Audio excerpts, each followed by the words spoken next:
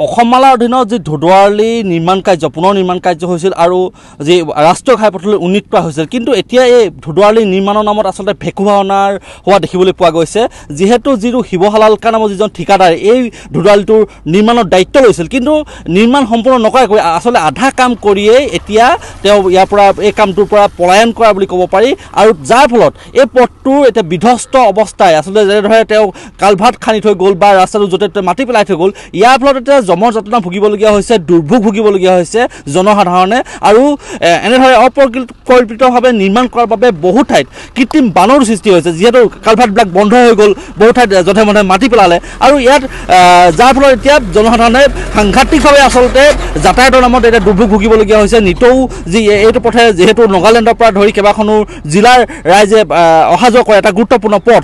আৰু বৰ্তমান এই যিটো শিৱ- হালালকা নামৰ যিটো ঠিকাদাৰী প্ৰতিষ্ঠান তেওঁ এটা চক্ৰান্ত বিশেষকৈ পোহৰলৈ আহিছে। যিটো প্ৰতিষ্ঠানক ইতিমধ্যে চৰকাৰে ব্লেক লিষ্টেড ঘোষণা কৰিছে। কিন্তু এই প্ৰতিষ্ঠানটোৱে নতুনকৈ বেলেগ এটা কোম্পানীৰ নামত তেওঁলোকে পুনৰ এই পথটোৰ লোৱাৰ এক পৰিকল্পনা গ্ৰহণ কৰা বুলি আমি জানিব পাৰিছোঁ। মই আচ্ছা নেতৃত্ব আছে মই জানিব বিচাৰিম। আচলতে যিটো শিৱলালকাৰ যিটো কোম্পানী তেওঁলোকে যি পথটো নিৰ্মাণ দায়িত্ব লৈছে তাৰ পাছৰ পৰাই কিন্তু পথটো অতি নিৰ্মাণ কৰাত অনিয়ম সংঘটিত কৰাৰ অভিযোগ উত্থাপন হৈছে। ইয়াৰ পাছত দেখিবলৈ পোৱা গ'ল যে তেওঁলোকে এই পথটো কাম কৰা এৰি থৈ গুচি গ'ল। কিন্তু দুৰ্ভোগ ভুগিছে ৰাইজে। কি ক'বা? নিশ্চয়কৈ আপোনাক ধন্যবাদ জনাইছোঁ ইয়াত অহাৰ কাৰণে। বিশেষকৈ দেখিছে আপোনাৰ মৰিনী সমষ্টিত বিশেষকৈ যিটো অঞ্চলত ইয়াৰ পৰা না- নাজিৰালৈকে বনাই আছিলে শিৱা হালকা নামৰ যিজন কণ্ট্ৰেক্টৰ গুৱাহাটীৰ তেখেতৰ কামৰ নমুনা আমি আগতেও গম পাইছোঁ তেখেতক হাইৱেটো ব্লেক লিষ্ট কৰিছে। তেনেকুৱা এজন ঠিকাদাৰক তেওঁলোকে দি পিনি এই গোটেই ৰাস্তাটো আচলতে কামৰ নামত যিটো দুৰ্নীতি কৰিলে আৰু তেওঁলোক আচলতে যিটো আপুনি কৈছে যে পৰিকল্পিতভাৱে মানে একো পৰিকল্পনা নাই তেওঁলোকে একো কল্পনা নকৰাকৈ তেওঁলোকে যধে মধে ক'ৰবাত মাটি পেলাইছে ক'ৰবাত দলং ভাঙি দিছে ক'ৰবাত কালভাৰ নাই লগোৱা একো পৰিকল্পনা নকৰাকৈ তেওঁলোকে যিটো কাম কৰিলে যাৰ কাৰণে আচলতে বৰ্তমান সময়ত ইয়াৰ স্থানীয় ৰাইজসকলে এম্বুলেঞ্চ হওক বিদ্যালয় হওক স্কুল কলেজ যাবৰ কাৰণে ল'ৰা ছোৱালীবোৰ যোৱা তিনি মাহ ধৰি বাৰিষা সময়ত ইমান কষ্ট দুৰ্ভোগ হ'ব লগা হৈছে। যাব নোৱাৰে কোনো পৰ্যায়ত একেবাৰে ৰাস্তাটো বন্ধ কৰি দিছিলে। যিটো সময়ত চৰকাৰে পথ অৱৰোধ বন্ধ কৰা অৱৰোধ কৰিব নোৱাৰে বুলি ক'লে সেইটো সময়ত চৰকাৰে নিজেই পথটো বন্ধ কৰিলে। পি ডাব্লিউ ডিপাৰ্টমেণ্টে তেওঁলোকে বন্ধ কৰিলে। তেওঁলোকৰ ওপৰত আইনী ব্যৱস্থা ল'ব লাগে আচলতে পি ডাব্লিউ ডিপাৰ্টমেণ্টত তেওঁলোক অভিযন্তাসকলৰ ভুল আছে। তেওঁলোকৰ কোনো পৰিকল্পনা নাই। তেওঁলোকে কোনো আহি কোনোদিন নেচায়।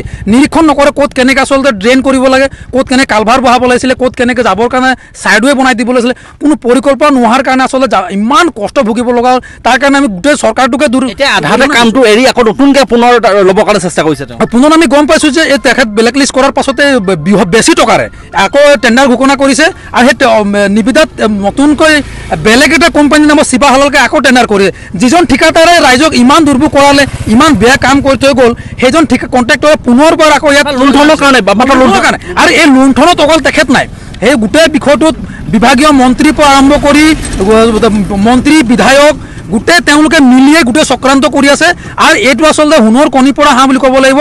বেলেগ বেলেগ আৰু কাম কৰিব আৰু টেণ্ডাৰ বঢ়াব এনে কৰি কৰি টকা লুণ্ঠন কৰা এটা হেৰি কৰিছে। আমি সকীয়াই দিছোঁ এইবাৰ যোনে ঠিকাদাৰ ইয়াত আহিব আমি কিন্তু কাম কৰাৰ আগত তেওঁলোকে প্ৰতিশ্ৰুতি দিব লাগিব। এনেকৈ আধাতে কাম কৰি গ'লে নহ'ব। আৰু অভিযন্তা প্ৰত্যেক দিনা ইয়াতে এছ ডি অ'ৰ লগত ডাঙৰ অফিচত ইয়াত থাকিব লাগিব নহ'লে আমি কিন্তু কাম কৰিব নিশ্চয়কৈ আৰু স্থানীয় লোক আছে মই জানিব বিচাৰিম। কি ক'বা এই মুহূৰ্তত আচলতে যিটো ধুদুৱালি দুৰ্ভোগ ভুগিবলগীয়া হৈছে ৰাইজে। বহু উম, দুখৰ কথা যি যিধৰণে চৰকাৰে অসম মালাৰ এটা স্কিনত পৰিকল্পনা কৰি এটা ধুধুৰ ৰালি এটা ডাঙৰ সপোন দেখাই দিলে আমাক। এই সপোন আজি প্ৰফুল্লা চব আৰু যিজন ঠিকাদাৰক ব্লেক লিষ্ট তেওঁক কামৰ পৰা আঁতৰাই আকৌ তেখেতক এটা বেলেগ কোম্পানীৰ এটা নামত তেওঁৰ নামতে আকৌ টেণ্ডাৰ দিয়াটো ৰহস্যজনক কথা। আৰু তেওঁলোকে এইটো টেণ্ডাৰ এইকাৰণে টেণ্ডাৰৰ ওপৰত টেণ্ডাৰ কৰিছে। তেওঁলোকে হয়তো কমিশ্যনৰ কাৰণে আজি মন্ত্ৰী মুখ্যমন্ত্ৰীয়ে হওক আজি বিধায়ক হওক M P M L A যিজন চৰকাৰৰ বিষয়ববীয়াসকল আছে আজি পি ডাব্লিউ ডি বিষয়ববীয়াসকল আছে তেওঁলোকে অকল কমিশ্যনৰ কাৰণে টেণ্ডাৰৰ ওপৰত টেণ্ডাৰ তেওঁলোকে কৰি আছে।